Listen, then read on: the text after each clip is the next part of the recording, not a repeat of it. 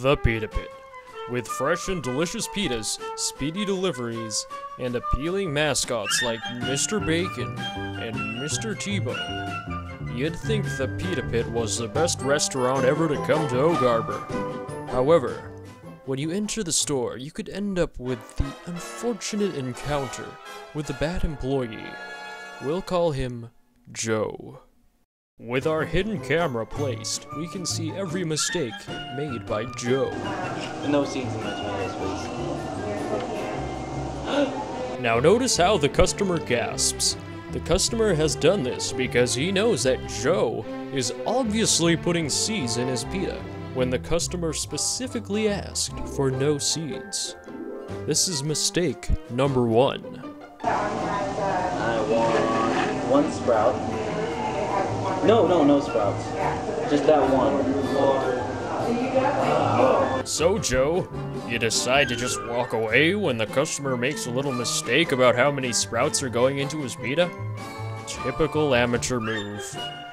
And that's mistake number two. Uh, I want hummus.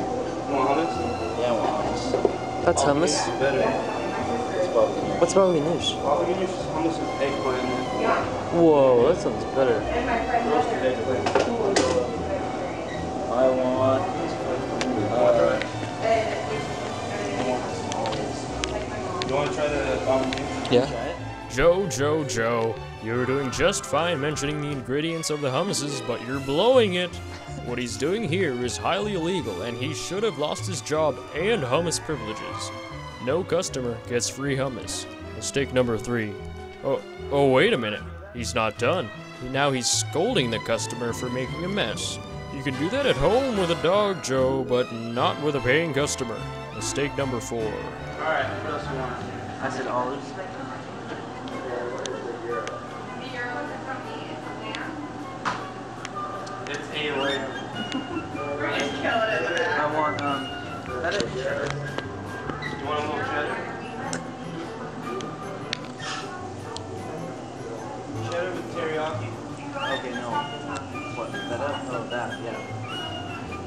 I don't know what I'm doing. Tzatziki.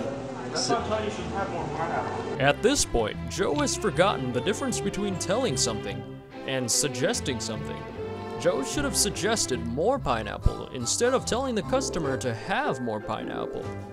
Even though, in my opinion, roasted pineapple with teriyaki sounds pretty dank. Mistake number five. Put some tzatziki in there.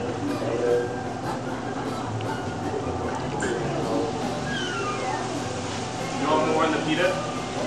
Jake, you want any more teriyaki in the pita? Yeah. A little bit. Anything else? No.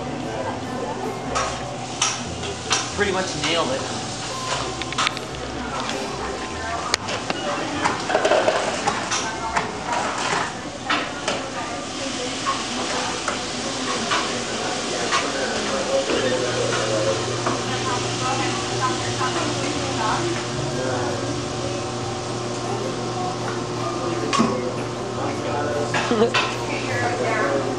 Two euros.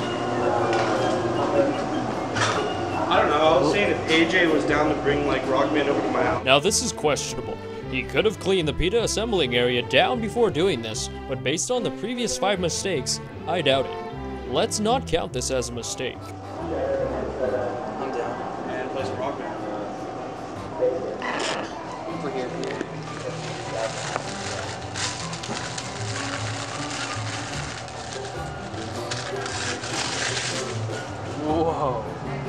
Not gonna lie, that was a pretty impressive rip. However, it in no way can make up for what's about to happen next. It's one of the biggest mistakes a pita pit employee can make. I'm not talking about a cigarette butt in a pita, or dropping a pita, or spitting in a pita.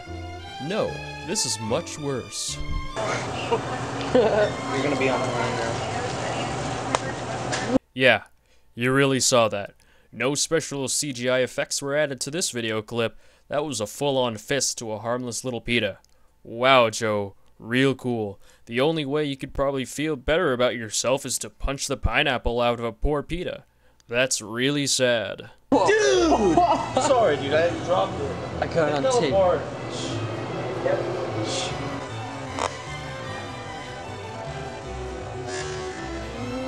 One, two, three, four, five, and six mistakes made by Mr. Pita Beater Joe. Jesus. And if that Pita was a little kitten, then PETA would probably throw Joe down a pit like the one from Mortal Kombat. So whenever you decide to go to the Pita Pit, just walk up to the front of the store and look through the window and look out for any Joes. And if a Joe is working, I would highly suggest you forget about eating at Pita Pit and just go to Desert Sun and get an Oompa Loompa tan.